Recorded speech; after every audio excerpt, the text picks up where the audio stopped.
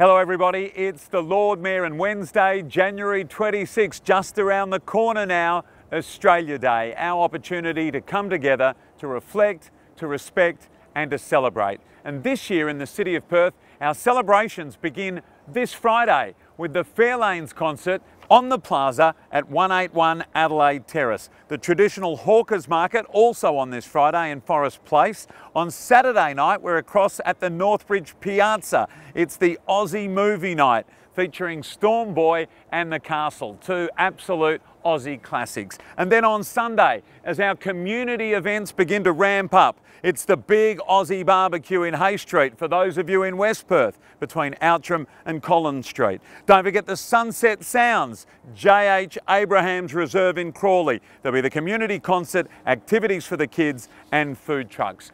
On Tuesday, the East Perth community down in Claisebrook, their opportunity to shine on Australia Day Eve at Victoria Gardens. Pack a picnic, the community concert will be on, and loads of activities for the kids. And then on Wednesday, Australia Day itself, the citizenship ceremony that we're very proud to be involved with at the City of Perth followed by the Birak concert down at Supreme Court Gardens, a celebration of Indigenous culture with music, activities for the kids and a whole lot more. And then the Langley Park Entertainment Zone, open from 3 o'clock as we welcome families back into the City of Perth for this year's Skyworks celebration. The entertainment zone from 3 till 7 with amusement and obstacle courses, freestyle motocross and BMX stunt shows. And don't forget to look up, the air show is back in 2022. There'll be flyovers, aeronautic displays and other fabulous acrobatics. Terrific to have the RAAF back with us this year.